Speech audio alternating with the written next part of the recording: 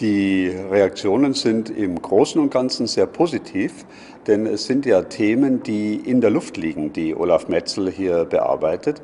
Es gibt also sehr viele äh, Menschen, die mit einer gewissen Skepsis hierher kommen, aber dann sagen, nein, nein, das ist ja doch sehr interessant, wir haben viel gelernt in der Ausstellung und die ästhetische Umsetzung überzeugt sehr stark. Es gibt natürlich auch, wie bei allen Ausstellungen, Leute, die sagen, damit kann ich nichts anfangen. Auch das gibt es.